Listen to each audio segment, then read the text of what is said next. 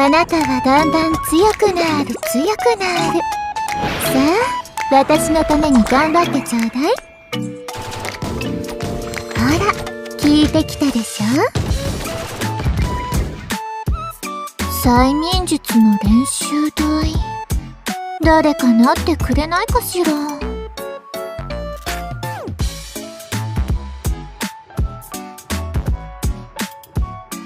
え変だわ。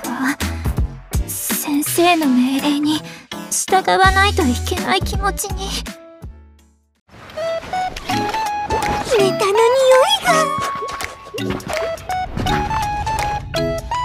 あバレちゃいました。ちょっと痛みますよ。これはスクープの予感がします。